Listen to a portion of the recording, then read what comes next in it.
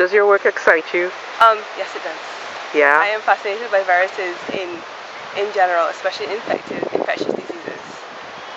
Really? Yes. Why?